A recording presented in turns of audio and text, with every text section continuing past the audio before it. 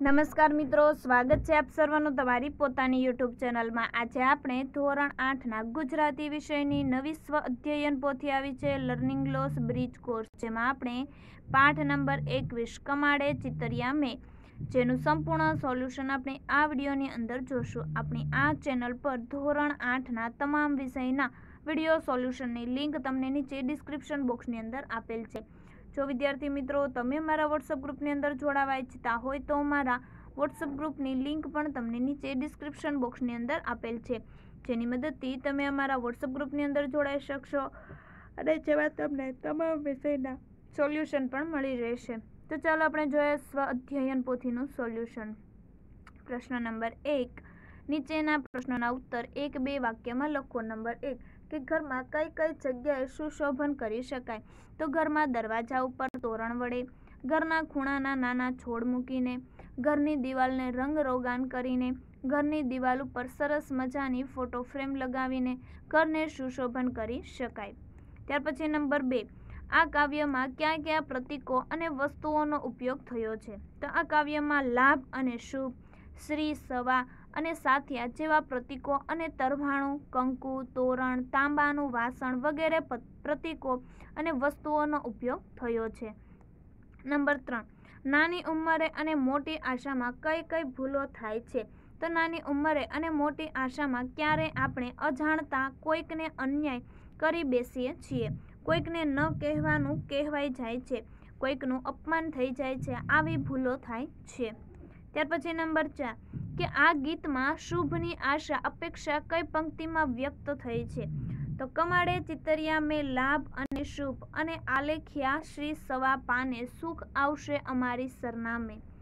ત્યાર પછી નંબર પાંચ, કે ગૃહિણી સ્નેહતણા સાથિયા જ્યાં આંખે અંજાયા એવું શા માટે કહે છે? તો ગૃહિણીએ તાંબાના વાસણમાં કંકુ લઈ હળવેથી હાથની આંગળીઓથી કંકુ ઘોળીને પ્રેમથી એણે સાથિયા બનાવ્યા છે માટે એવું કહે છે. પ્રશ્ન નંબર બે કે નીચેના પ્રશ્નોના ઉત્તર લખો. નંબર એક કે કાવ્યમાં તોરણ શબ્દોને સ્થાને કવિએ તોરણિયા શબ્દો વાપર્યા છે. આવા બીજા શબ્દોની યાદી બનાવો. તોરણ તો તોરણિયા, ફાગણ તો ફાગણીઓ શ્રાવણ તો શ્રાવણીઓ હાથી તો હાથીઓ જાડો તો જાડીઓ સ્વસ્તિક તો સાથીઓ. ત્યાર પછી નંબર બે છે કે નીચેના શબ્દો જે ગીતમાં વપરાયા હોય તે ગીતની એક પંક્તિ લખો. ઉબરો તો ઉબરે ઊભી સાંભળું રે બોલ વાલમના. સાથીઓ સાથિયા પુરાવો રાજ. કંકુ કંકુ છાટી કંકોત્રી મોકલી. તોરણ તોરણ બાંધ્યા તોરણિયાના ટોડલે રે. કમાન્ડ કમાડે ચિતરિયા મેં લાભ અને શુભ. અવસર. આવ્યો અવસર રૂડો અવસર. સુખના કઈ સૂરજ મળ્યા. ત્યાર પછી નંબર ત્રણ. કે ખીલવા ને ખરવાની વચ્ચે જીવતા જાણે છે આ ફૂલ, સમજાવો. તો ફૂલનો સ્વભાવ ખીલવાનો અને ખરવાનો છે, પણ એ બે વચ્ચેના ગાળામાં ફૂલ સુગંધિત જીવન ગાળે છે. એમ સંબોધિથી બંધાઈ ગયા પછી માનવીને પણ સત્કર્મોથી પોતાના જીવનને મહેકતું કરવું જોઈએ, કેમ કે એવા જીવન મૂલ્ય આંકી શકાય તેમ નથી. નંબર ચાર સુખ આવશે અમારે સરનામે દ્વારા ગૃહિણીની કઈ ભાવના વ્યક્ત થઈ છે? તો દરેક માનવીને સુખની હંમેશા પ્રતીક્ષા રહેલી હોય છે. અહીં ગૃહિણી પણ પોતાના ઘરે સુખ આવે તે માટે બારણે સાથિયા પુરાવે છે, તોરણ બાંધે છે, કારણ કે તેમના ઘરે સુખ અને સમૃદ્ધિ આવે તેવી ભાવના વ્યક્ત થાય છે. નંબર પાંચ. કે માણસ જ્યારે સંબંધે જોડાય છે, ત્યારે જીવન સુગંધમય થઈ જાય છે અને તેને સામાન્ય રીતે મૂલવી શકાતું નથી. આવું કઈ પંક્તિઓમાં કહેવાયું છે? તો જોઈએ જવાબ, કે સંબંધ આવું તો છે, મહેક મહેક થાવું એને મૂલાવી શકાય નહીં અમે સુખ આવશે અમારે સરનામે. ત્યાર પછી નંબર છ, કે નીચેના શબ્દોનો ઉપયોગ કરી એક રસપ્રદ ફકરો લખો. જોઈએ. શુભ પ્રસંગે ઘરના બારણે સાથિયા પુરાવવામાં આવે છે.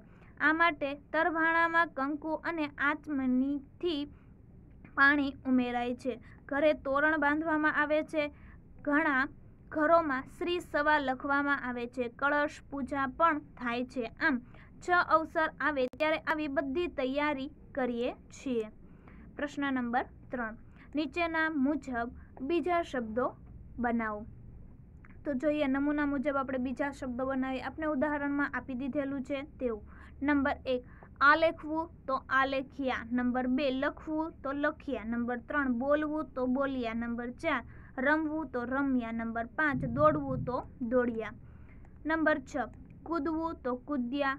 નંબર સાત, હસવું તો હસ્યા. નંબર આઠ, ખસવું તો ખસ્યા. નંબર નવ, દોરવું તો દોર્યા. નંબર દસ, સર્જવું તો સર્જ્યા.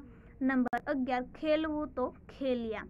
પ્રશ્ન નંબર ચાર, જે શબ્દમાં પૂર્વપદ સંખ્યા સૂચવે અને ઉત્તર પદ સમૂહના અર્થનું સૂચન કરે તેવા દ્વિગુ સમાસના દસ શબ્દો ઉદાહરણ મુજબ લખો. નંબર એક, ત્રિલોક તો ત્રણ લોકનો સમૂહ. નંબર બે, અષ્ટકોણીય તો આઠ ખૂણાવાળો. નંબર ત્રણ, ત્રિભુવન તો ત્રણ ભુવનનો સમૂહ. નંબર ચાર, નવરંગ તો નવ રંગનો સમૂહ. નંબર પાંચ, પંચતત્વ. તો પાંચ તત્વોનો સમૂહ. નંબર છ, અઠવાડિયું. તો આઠ દિવસનો સમૂહ. નંબર સાત, પખવાડિયું. તો પંદર દિવસનો સમૂહ. નંબર આઠ, ચાતુર્માસ. તો ચાર માસનો સમૂહ. નંબર નવ, પંચનાદ. તો પાંચ નદીઓનો સમૂહ. અને નંબર દસ નવ રસ તો નવ રસનો સમૂહ. તો આ વિડીયોની લિંક તમે તમારા મિત્રો અને દોસ્તોને જરૂરથી શેર કરજો, જેથી તે લોકોને પણ આ સ્વ અધ્યયન પોથીનું સંપૂર્ણ સોલ્યુશન મળી રહે.